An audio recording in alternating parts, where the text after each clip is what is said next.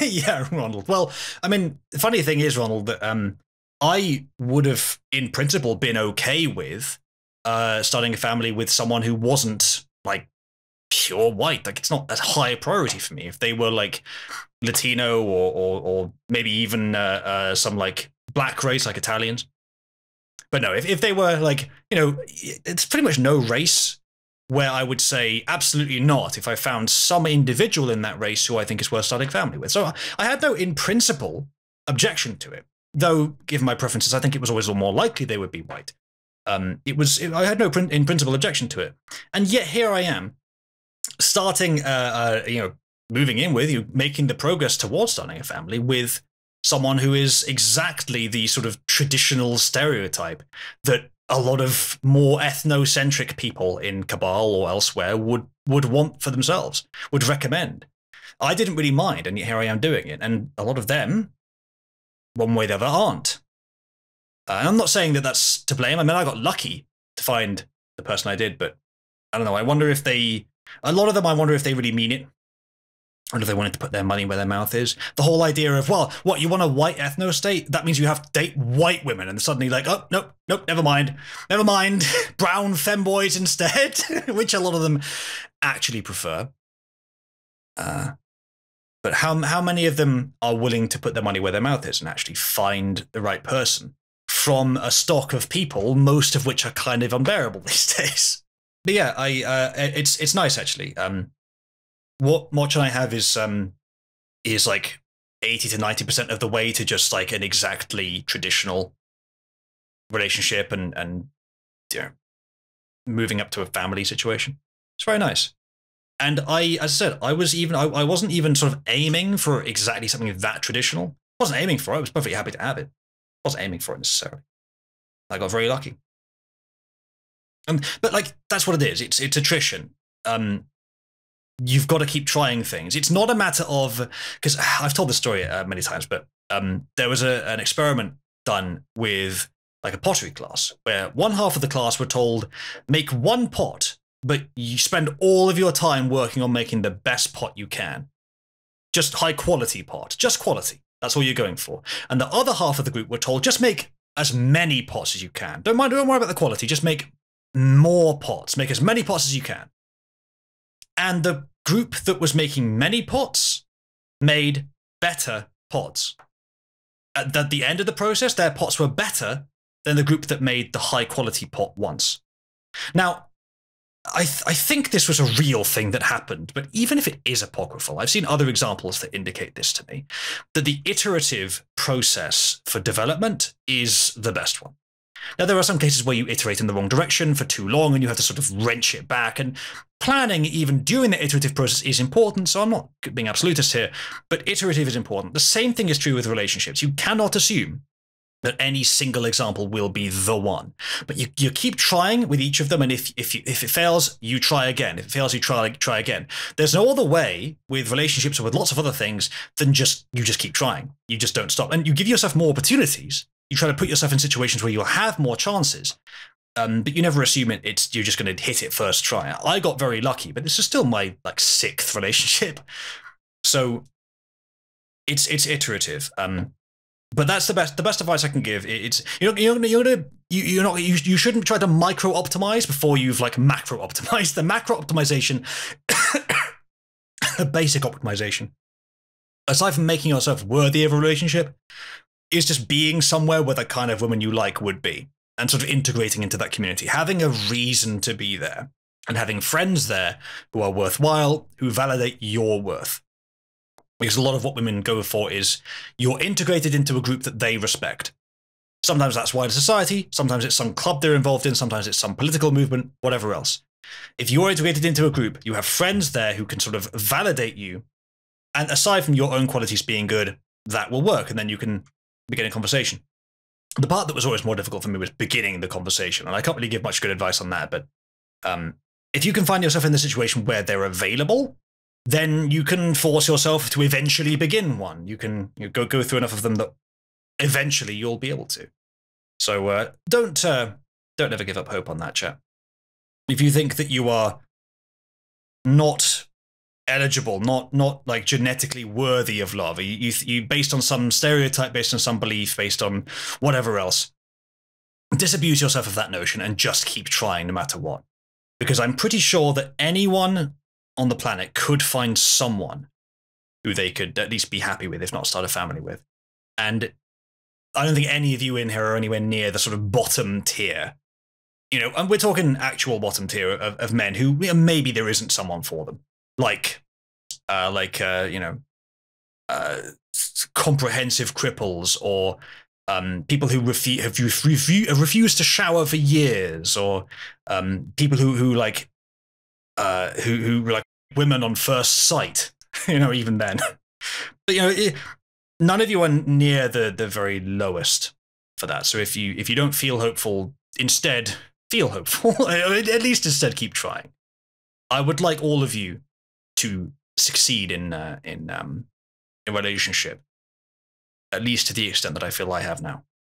All right. Um, Decra says, no exaggeration. A guy I used to work with, when he met who would become his wife on the beach, his first words were, How's it going, tits? Now, see, saying something like that will filter out a lot of women who will just say, Ew, you awful misogynist.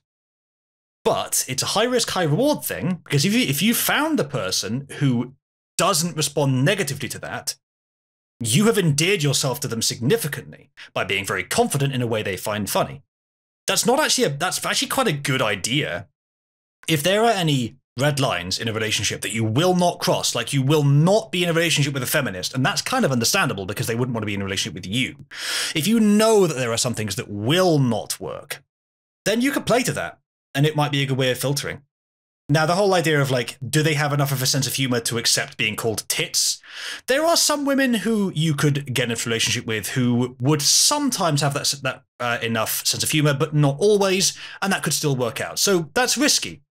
But if you're if you're determined to get only the best, or if you're just irreverent enough to want to say that, that can still work. That could still work. So yeah, um, be brave, be confident, be uh, be uh, uh, uh, courageous, but demonstrate that it's easy to live as you do. Demonstrate that you have a lot of spare energy. Um, demonstrate that you are uh, comfortable being who you are. This kind of thing. It, it's a little things that build it up. It's, it's these same set of little things that also build up to social change as well. Ronald says average cabal like GF requirements female optional, white optional. yeah. Kitty says, I don't get it. The guys who went for the best pot made less good pots than the guys who went for mass production cheap pots. How? Because the people that iterated, every time they made a new pot, they learned from the last time how to make it better the next time. And so every time they made a new one, they took those improvements to make the pot better. And so in the end, it was it was better. Now you may think, they were they were trying to make multiple. Why did they bother trying to make it better? Well, that's the point. Is the iterative is so powerful that even if you're not trying to make it better, you can. Because people learn from their mistakes. Believe it or not, there's a lot of you probably are in the sort of autistic mindset that you can have a perfect plan. Well, in pure hypothetical, you can, but in reality, you never can. Um, there's too many factors to take into account, too many unexpecteds. And so, what you need to do instead is try to uh, make the process formulaic if you want to get the best results. And you do that by trying, rev- revising, trying, revising. Funnily enough, kind of like a waveform. Yeah. Back to my talking point that they're everywhere. The birth and decay process is everywhere. You can you can find analogies to that almost everywhere. Uh, yeah, Wolf says agile type programming methodologies. I don't know much about agile, but I think in principle it could work. As far as I understand, the problem is that people don't do it properly. Kitty says, who's advice for getting a good relationship? Sexual harassment. Yes, by some modern definitions. Some people in the world today would define flirting as sexual harassment, at least sometimes. Um, if you, if you say something along the lines of uh, uh, nice legs, then some women are going to interpret that as sexual harassment. But in ages gone by, that would be interpreted as a compliment and thus flirting. It literally is a compliment. To think that you can go up to per- to go up to a person, give them a sincere, honest compliment, and be arrested for it. That is insane. Make no mistake. If you, especially if you're younger, if you've grown up during the culture war, this is not normal. And it's probably going to be very difficult to convey to you exactly what normal means. And bear in mind, I grew up during the 90s and, and early 2000s, so to me, normal is still not normal for what was normal before. And a lot of those standards are not wrong. They were uh, changed because of um, progressive hypotheses, which still haven't been still haven't been uh, uh, uh cleared from our system, cleared like a virus. Phil says, "Don't worry, just because you're in prison doesn't mean nobody will want to date you. Just don't drop the soap."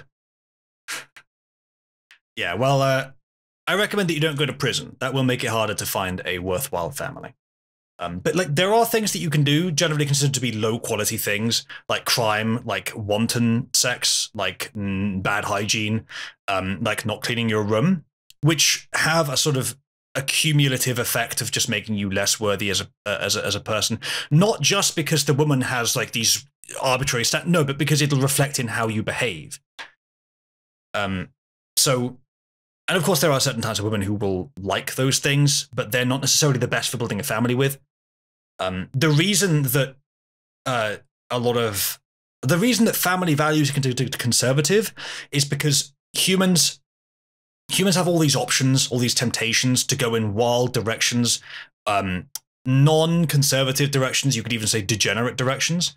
Um, where you have the option to do those things, and they can be exciting in the moment, but I think evolution has has deigned that we follow the challenge of, yeah, but don't. You can, but let's see if you cannot. Because if you do those things, then it demonstrates to people, and it demonstrates through your resultant conduct, that you value short termism over long termism, and evolution selects hard against that. So if you can be the kind of person who clearly in how you conduct yourself and also truly deeply value long termism over short termism, i.e., don't go for degenerate stuff.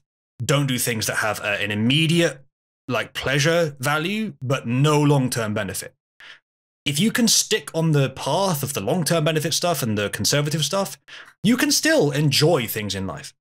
But you will have a much better life as a result of doing so. Now, this is coming from someone, me, who used to be more leftist, more um, uh, open to this stuff, more willing to say, yeah, be degenerate. What's the downside? And I'm not presenting this as some moral conviction that I've had since birth. I'm not presenting this because I, I want people to be controlled, because I have some 1950s oriented vision of the world I want to impose upon everyone, or because I think that uh, degeneracy is icky. I'm saying this because it appears to be true because evolution has and not just it's not like a person saying i'm personifying the universe nature life works better this way so if you want to be successful you are going to have to resist temptation quite a lot